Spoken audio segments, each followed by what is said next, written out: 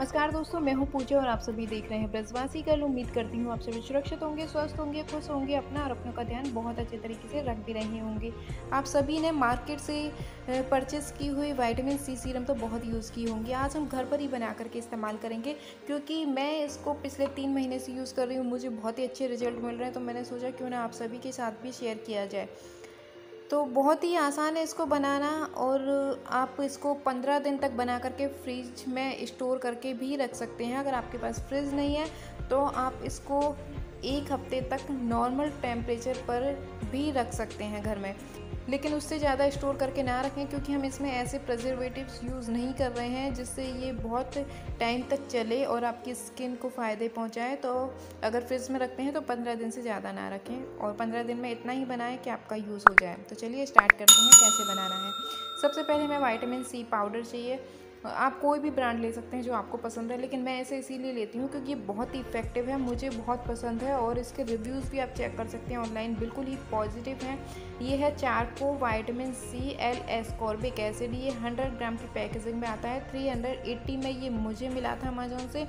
आप देख लीजिएगा, जिस वेबसाइट से ले, वहाँ पर इसके अलग अलग प्राइस होते हैं। तो वेजिटेरियन है, इसमें 80 percent vitamin C L ascorbic acid का यूज़ किया गया है और बाकी के जो 20 परसेंट हैं, वो इसको बेच देने के लिए यूज़ किया जाता है।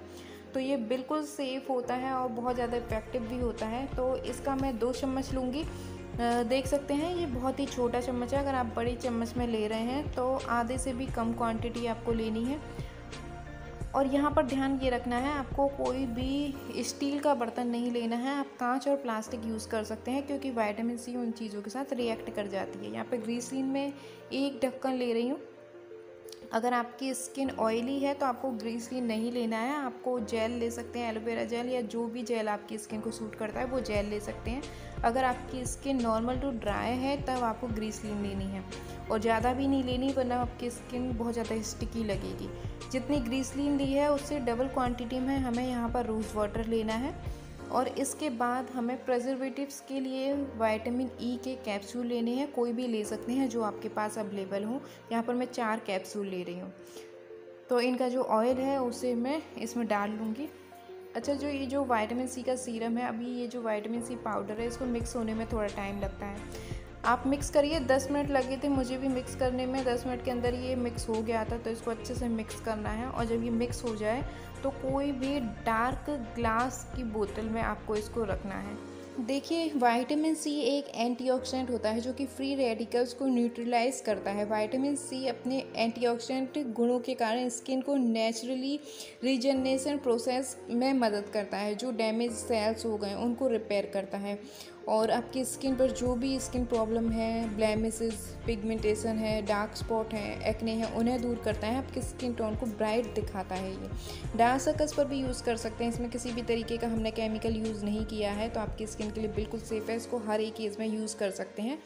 इसको कोशिश करें, सिर्फ़ रात के टाइम ही यूज़ करें, दिन में ना करें, क्योंकि सनलाइट पड़ती है हमारी स्किन पर, अपने फेस को वॉश करने के बाद सिर्फ़ इसकी टू से थ्री ड्रॉप लगानी है।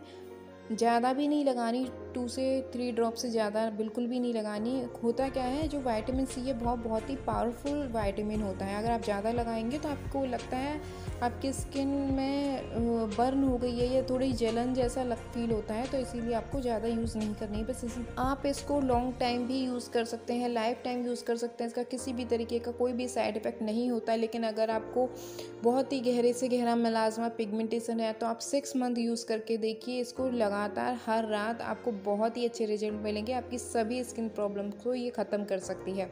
उम्मीद करती हूँ ये वीडियो आप सभी के लिए हेल्पफुल रहे। वीडियो अच्छी लगी हो तो लाइक कर दें, शेयर करें, चैनल पर नहीं तो सब्सक्राइब कर लें।